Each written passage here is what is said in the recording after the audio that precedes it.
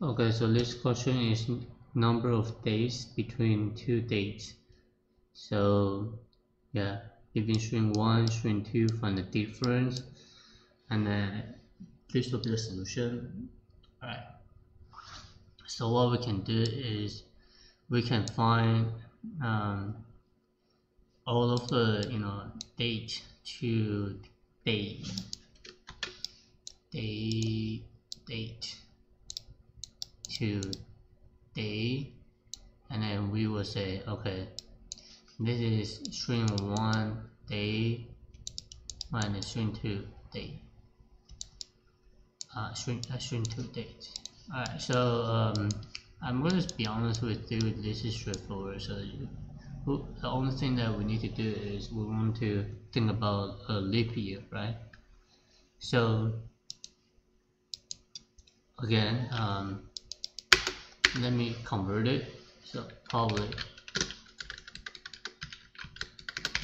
int uh, get a since 1971 and you have date right? So again um, the first thing is the month so I'm gonna copy and paste. Hmm, probably this is better. Cool.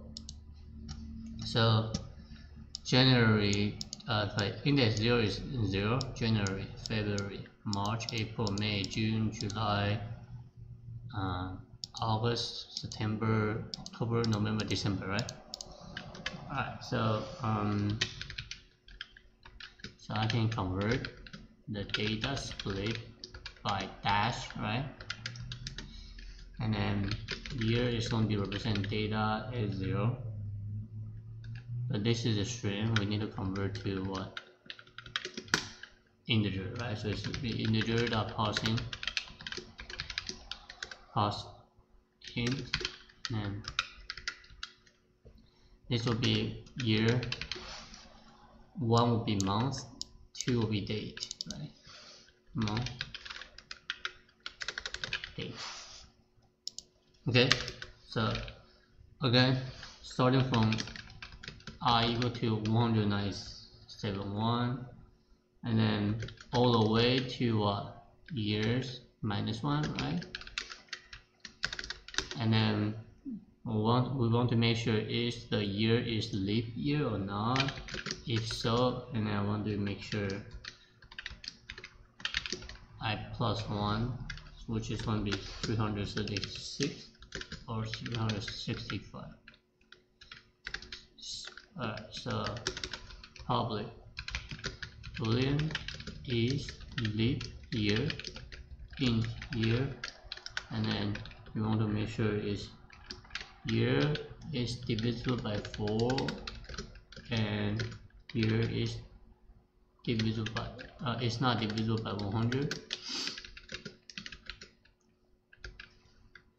alright um or year is divisible by 400 so yeah this is a mathematics you know improvement. You want to do this. Okay um so we have all we have you know we have converting a year right? Now we want to make sure the month so for in i equal to 1 i less than month i plus plus. So oh, come on. If is leap year at year so and also i equal to 2 which is February right?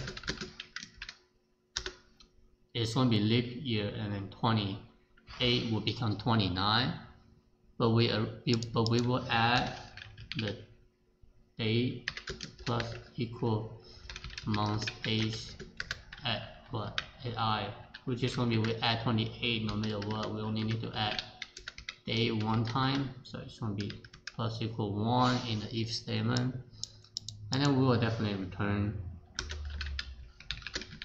date right? Um, so yeah so we we already had the day already. We plus the year we plus the month. So it's actually year month and day together. So what we need to do for here is we want to make sure the absolute difference between date 1 date 2 is going to be what positive number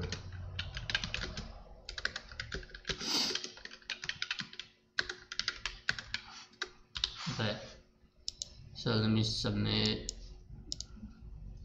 okay alright so again this is like math. It's not really important to you know um, write a solution. So cool. So time and space um, this space. I would say constant. This is time all of year. And it should be constant right? The data given is what?